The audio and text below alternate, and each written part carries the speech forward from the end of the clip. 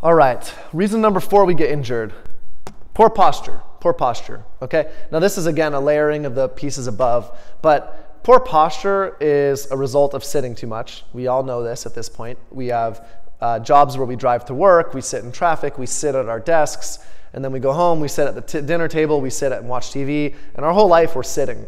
And what ends up happening as a result of this is the muscles that are designed to support good posture end up underused and then therefore under endured. They don't have the, the uh, stamina to support our body in a good posture for long periods of time. And that's because, again, we've been sitting too much and sitting in poor posture.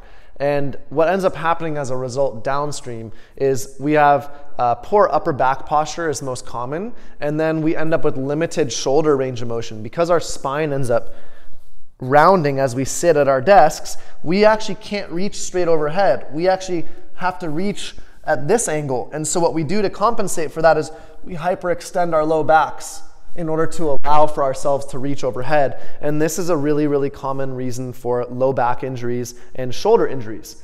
And so we really want it's a it has to be a priority to again improve our strength and then and then improve our muscle endurance in our postural stabilizing muscles so that we can restore ourselves to a full range of motion um, at tender joints like the shoulder and the hip.